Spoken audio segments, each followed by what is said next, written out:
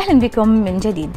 فتح مجلس المناقصات والمزايدات في جلسته الأسبوعية مناقصة لشركة تطوير للبترول لتوريد أدوات التعويم المستخدمة في حفر آبار النفط والغاز في عقد زمني لمدة خمس سنوات. وتنافست على المناقصة أربع شركات. وتقدمت شركة هالبرتون العالمية المحدودة بأقل العطاءات بقيمة 4.948 مليون دولار. ويتضمن العقد الزمني على توريد معدات التعويم في حفر آبار النفط والغاز للسنوات الخمس القادمة لتلبية احتياجات مملكة البحرين. وذلك فيما يتعلق بالمشاريع الاستراتيجية الحالية والمرتبطة بهدف زيادة إنتاج النفط والغاز لتلبية متطلبات المملكة المستقبلية وضمان استمرارية الصيانة للآبار الحالية. من جانب آخر فتح مجلس المناقصات مناقصة لجهاز المساحة والتسجيل العقاري لدعم الخرائط القومية ثلاثية الأبعاد لمملكة البحرين الجزء ألف تحديث الخرائط الوطنية وتنافست على المناقصة ثلاث شركات. وتقدمت شركة RMSI Private Limited بأقل العطاءات بقيمة 251.680 ألف دينار. بلغ المتوسط اليومي لقيمة الأسهم ووحدات الصناديق الاستثمارية العقارية المتداولة في بورصة البحرين لهذا الأسبوع 740,855 دينار بحريني.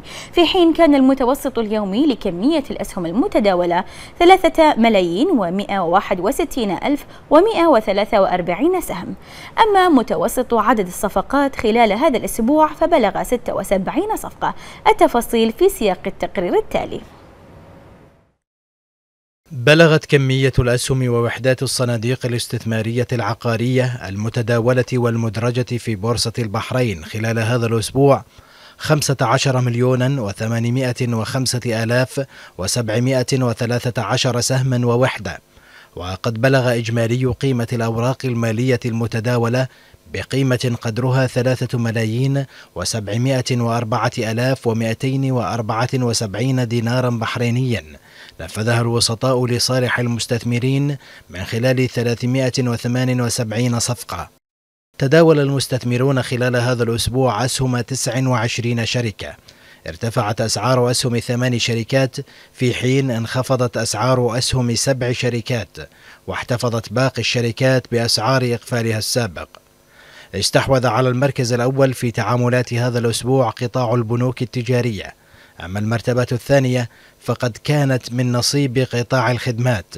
أما على مستوى الشركات فقد جاء البنك الأهلي المتحد في المركز الأول من حيث القيمة وجاء في المركز الثاني مجموعة جي إف إتش المالية. والآن مشاهدينا نترككم مع أسعار صرف الدينار البحريني مقابل العملات الخليجية والعالمية.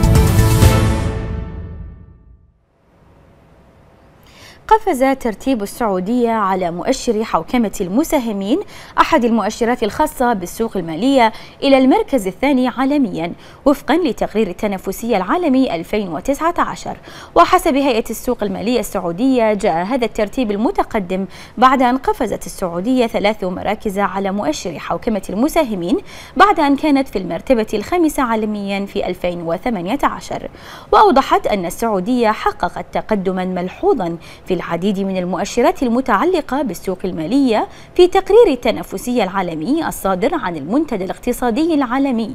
وبشكل عام قفز ترتيب السعودية في تقرير التنافسية العالمي إلى المركز 36 مقارنة بالمرتبة 39 في تقرير عام 2018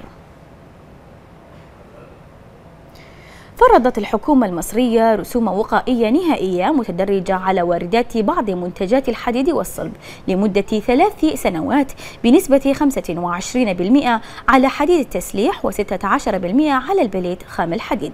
ووفقا لبيان صادر عن وزارة التجارة والصناعة المصرية وجاء القرار نتيجة لتأكد سلطة التحقيق من وجود زيادة كبيرة في الواردات ألحقت ضررا جسيما بالصناعة المحلية.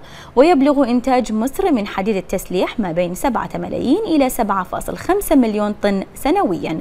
وأوضح البيان أن فترة ثلاث سنوات تشمل التدابير الوقائية المؤقتة التي تم فرضها خلال شهر إبريل من العام الجاري مما يعني أن القرار سينتهي العمل به في إبريل 2022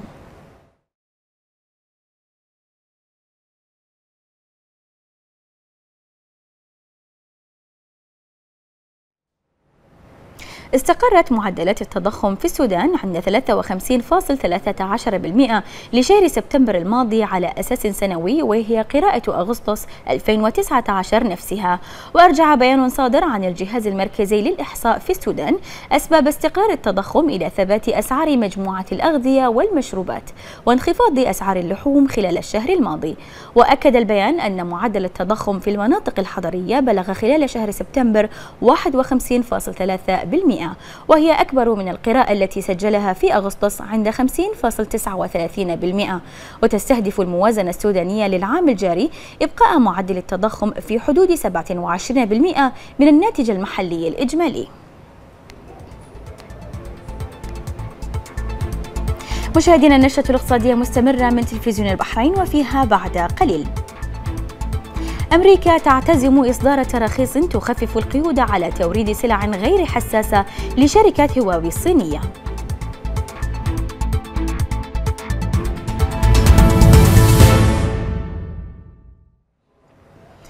الرئيس الأمريكي دونالد ترامب أن محادثات التجارة بين مسؤولين أمريكيين وصينيين سارت على خير وعلى ما يرام وأن الجانبين أجريا مناقشات جيدة جدا. وكان ترامب يتحدث إلى الصحفيين في البيت الأبيض بعد أن اجتمع مفاوضون أمريكيون وصينيون كبار للمرة الأولى منذ أواخر يوليو لمحاولة تخفيف حرب تجارية مريرة مضى عليها 15 شهرا. وكان ترامب قد أعلن في وقت سابق من الخميس إنه سيلتقي مبعوث التجارة الصيني وسط مساعي البلدين لاستئناف المفاوضات الهادفة لإنهاء الحرب التجارية المتصاعدة بينهما. أعلن ماريو سنتينيو رئيس منطقة اليورو أن وزراء مالية الاتحاد الأوروبي وافقوا على تفاصيل ميزانية صغيرة لمنطقة اليورو للاستثمار والإصلاحات وستدخل حيز التنفيذ عام 2021 وقال ماريو إنه بات للاتحاد دعامة جديدة لدعم اليورو وستبلغ موازنة منطقة اليورو نحو 17 مليار يورو لدعم الإصلاح المالي في الاتحاد الأوروبي بدلا من 25 مليارا التي أوصت بها المفوضية الأوروبية في بروكسل. ووافقت حكومات منطقة اليورو أيضا على أنها قد تزيد هذا الحجم من خلال اتفاقية حكومية دولية مع تفاصيل يتم فرزها قبل بدء ميزانية الاتحاد الأوروبي الجديدة طاولة الأجل عام 2021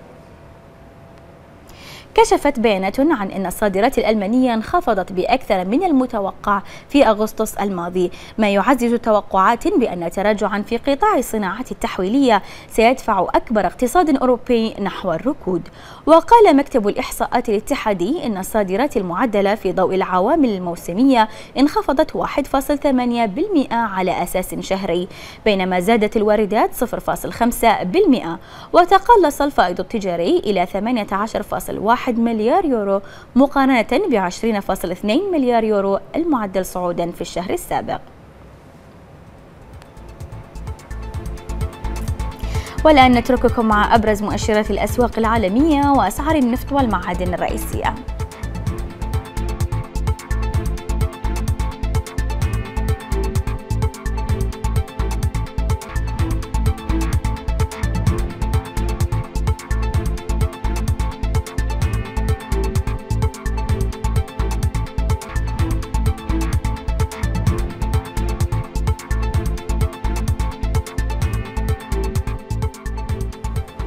وفي آخر أخبارنا الاقتصادية ذكرت صحيفة نيويورك تايمز الأمريكية أن الولايات المتحدة ستصدر قريبا تراخيص تتيح لبعض الشركات الأمريكية توريد سلع غير حساسة لشركة هواوي الصينية في الوقت الذي يجتمع فيه مسؤولون كبار من البلدين في الأسبوع الحالي لاستئناف محادثات تجارية. وأدرجت الولايات المتحدة هواوي تكنولوجيز أكبر مصنع لمعدات الاتصالات في العالم في قائمة تجارية سوداء منذ مايو الماضي بعد انهيار محادثات تجارية بين واشنطن وبكين. وتقول الولايات المتحدة إن الشركة يمكنها التجسس على العملاء وهو ما تنفيه هواوي.